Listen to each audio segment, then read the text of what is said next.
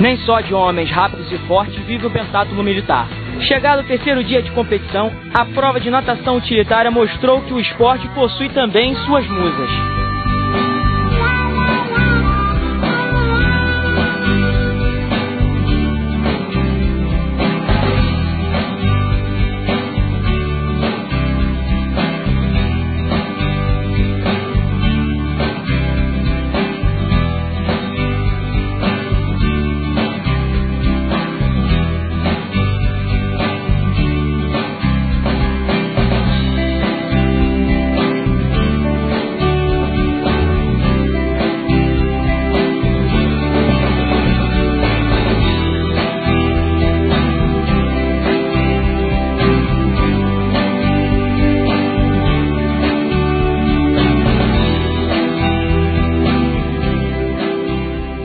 Achava que as brasileiras eram top de linha no mundo aí, mas agora com, vendo aqui o nível da, da, das americanas, das argentinas, então, tá, pô, pelo amor de Deus, é de tirar, tirar o fôlego qualquer um, entendeu?